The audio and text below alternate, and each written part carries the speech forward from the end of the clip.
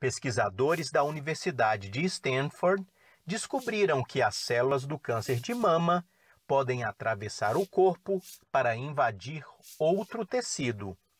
Os cientistas sabem há muito tempo que as células têm um meio químico de se libertar.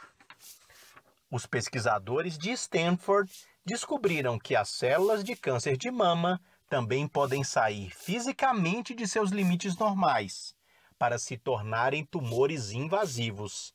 Embora pareça uma notícia ruim, o trabalho indica novas formas de prevenir a disseminação de cânceres.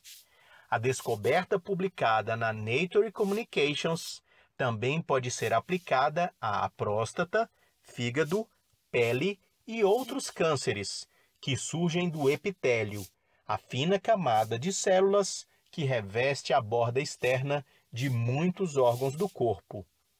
O trabalho revela um mecanismo previamente desconhecido que as células cancerígenas usam para romper a membrana.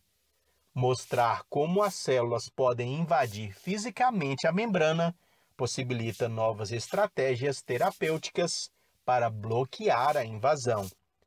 O grupo fez sua descoberta incorporando células de câncer de mama em um biogel que imita com precisão o tecido humano. As células cancerígenas usaram partes da própria estrutura como braços rígidos para rasgar pequenos buracos no biogel.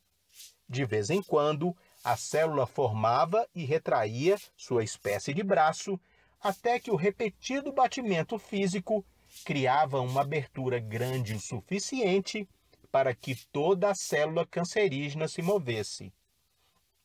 A descoberta de um papel físico independente das secreções de proteases conhecidas anteriormente e que atacavam a membrana celular da célula sadia, pode explicar por que os medicamentos para câncer, conhecidos como inibidores de protease, não foram eficazes em todos os casos. Com as descobertas, pesquisadores buscam estratégias para bloquear tanto mecanismos de fuga físicos quanto químicos, na esperança de que isso leve a novas formas de prevenir o avanço do câncer.